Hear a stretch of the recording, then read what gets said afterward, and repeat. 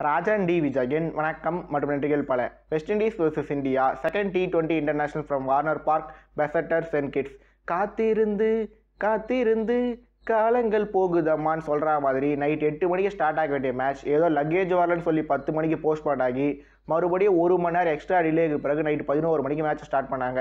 Match start ஆகிறதுக்கு முன்னாடி எப்பவும் போல ரோஹித் சர்மா நிக்கலஸ் புரன் ரெண்டு பேரும் டாஸுக்கு வந்தாங்க. டாஸ் வின் பண்ண புரன் பவுலிங்கை சூஸ் பண்ணாரு. வெஸ்ட் இண்டீஸ் ரெண்டு சேஞ்சஸும் இந்தியன் டீமில் பிஷ்னாய்க்கு பதிலாக ஆவேஷ் கான உள்ளே வந்திருந்தாரு. ரோஹித் சர்மா சூரியகுமார் யாதவ் ரெண்டு பேரும் இந்தியன் ஓப்பனர்ஸாக உள்ளே வந்தாங்க. மேட்சோட ஃபஸ்ட்டு பால்லே ரோஹித்தோட விக்கெட்டை மெக்கா எடுத்தார். அந்த பாலில் ரோஹித்தோட விக்கெட் போனது அவருக்கு எப்படி சர்ப்ரைஸாக இருந்ததோ அதே மாதிரி தான் எனக்கு இருந்தது. நாமளாக கிரிக்கெட் விளையாடும்போது பால் கல்லில் எதுலையாவது பிச் ஆகி எக்ஸ்ட்ரா பவுன்ஸ் ஆகும் இல்லையா? அதே மாதிரி அந்த பால் எக்ஸ்ட்ரா பவுன்ஸ் ஆகி எல்லாருமே ஆச்சரியப்படுத்தி இருந்தது ரோஹித் விக்கெட் போன பிறகு எல்லா இந்தியன் பேட்ஸ்மேன்ஸுக்குமே ஸ்டார்ட் கிடச்சி எல்லாருமே பத்து ரன் இருபது ரன் அடிச்சு அவுட் ஆக இந்தியா நூற்றி முப்பத்தெட்டு ரனில் ஆல் அவுட் ஆகுறாங்க. இந்தியன் டீமோட பிராண்ட் நியூ அக்ரஸிவ் கிரிக்கெட் ஏரால முதல் முறையாக ஒரு டவுன் ஃபாலாக இந்த பேட்டிங் பர்ஃபார்மன்ஸ் அமைஞ்சிருக்கு. வெஸ்ட் இண்டீஸ் பவுலிங்கை பொறுத்த வரைக்கும் இன்னைக்கு ஒபேடு மெக்காயோட டேன்றதுல எந்த சந்தேகமும் இல்லை. அவர் வெஸ்ட் இண்டீஸ் பிளேயர் ஒருத்தரோட பெஸ்ட் டி டுவெண்ட்டி பவுலிங் ஃபிகரை இந்த மேட்ச்சில் எடுத்து காட்டியிருந்தார் அவருக்கு ஜேசன் ஓல்டர் உள்ளிட்ட மற்ற எல்லா பவுலர்ஸுமே சப்போர்ட்டிவாக இருந்தாங்க. நூற்றி முப்பத்தி ஒம்போதுன்ற ஸ்லைட்லி ஈஸி டார்கெட்டோட வெஸ்ட் இண்டீஸ் ஓப்பனர் சொல்ல வராங்க. Kyle Mayers Nicholas Pooran Shimron எட்மயர்னு ஒரு பக்கம் வெஸ்ட் இண்டீஸ் பேட்ஸ்மேன்ஸ் அவுட் ஆகிட்டு போனாலும் பிராண்டன் கிங் மட்டும் இன்னொரு சைடில் உண்மையிலேயே கிங் மாதிரி நின்று ஆஃப் செஞ்சுரியை கிராஸ் பண்ணி மேட்சை கிட்டத்தட்ட முடிச்சு வச்சுட்டு அவுட் ஆனார்.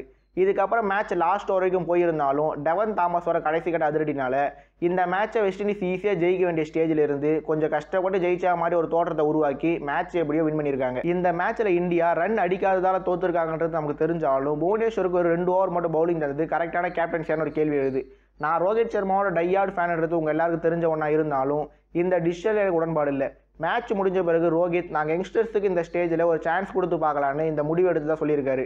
அது ஒரு வகையில் சரின்ற மாதிரி தோணினாலும் ஃபஸ்ட்டு மேட்ச்சை வின் பண்ணுறது தான் முக்கியமே. அடுத்து தான் எந்த எக்ஸ்பெரிமெண்ட்டாக இருந்தாலும். நான் அதுக்குன்னு புவி பவுலிங் போட்டிருந்தால் மட்டும் இந்தியா இந்த மேட்சை கண்டிப்பாக வின் பண்ணிட்டு இருப்பாங்கன்னு சொல்ல வரல. ஆனால் கிரன்ச்சி சுச்சுவேஷனில் சீனியர் பிளேயர்ஸ் கிட்ட போகிறது தான் சரியான முடிவுன்னு ரோஹித்துக்கு நல்லாவே தெரிஞ்சிருந்தாலும் இந்த டிசிஷன் எடுத்தது மூலமாக அவரே இந்த மேட்ச்சை ஜெயிக்க போகிறது இல்லைன்ற மைண்ட் செட்டு கூட வந்துட்டு இருக்கலாம். ரைட் இந்த மேட்சை வின் பண்ணது மூலமாக West Indies five match T twenty சீரிஸை one one equal பண்ணிட்டாங்க. Third T twenty twenty four hours கேப்பில் நடக்க போகிறதால அந்த மேட்ச்சில் இந்தியா பவுன்ஸ் பேக் பண்ணுவாங்கன்ற நம்பிக்கையுடன் மீண்டும் இன்னொரு வீடியோவில் சந்திக்கும் வரை ராஜன் டி விஜய் நன்றிகள் பல மற்றும் வணக்கம்.